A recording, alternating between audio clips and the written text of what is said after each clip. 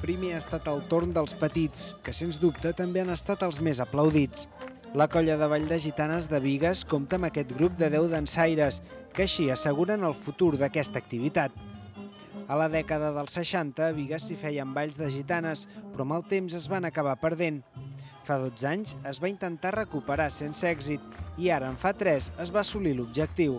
Qui pensa que era tradició ballar aquest ball i llavors els, el, ho portem a, la sang alguns, no? Ja, tot això. I, i per això, doncs, com que ho havíem fet, hem dit, va, tornem i animem-nos i tornem-ho a fer. I per això estem fent, ho estem tornant a fer, no? El casal d'avis és qui ha creat la colla, igual que s'encarrega de fer altres activitats com el cant de veneres. En el cas de les gitanes han trobat una gran professora amb la Dolors, que s'encarrega d'ensenyar tant a petits com a grans.